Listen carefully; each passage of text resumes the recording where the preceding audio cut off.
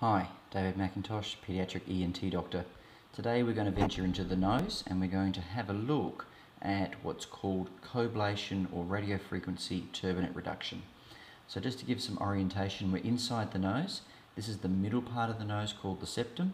This is a swelling inside the nose called the inferior turbinate and this little probe is our little machine known as coblation or radiofrequency ablation. I just want to point out at the moment that as a starting point, this is the breathing space. There's not much room there at all. And this is so swollen it's actually touching into the middle of the nose. Now, this is pretty cool. As we go in, we're going to make a little puncture wound, and as we go down, we're going to go in here, generate a bit of smoke as we do so. And what you're going to notice as we get towards the back is this really cool appearance where it starts to turn white and blanching.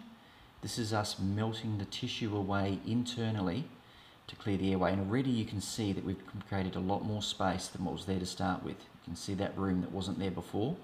And then check this out, this is pretty cool. As we go in, you can just see it turning white. Probably makes you think like we're freezing it, we're actually not. This is us shrinking away the tissue internally, and as it shrinks away, you can see it divot in just then, and you can see the nasal passages open up something that's really cool. Have a good day.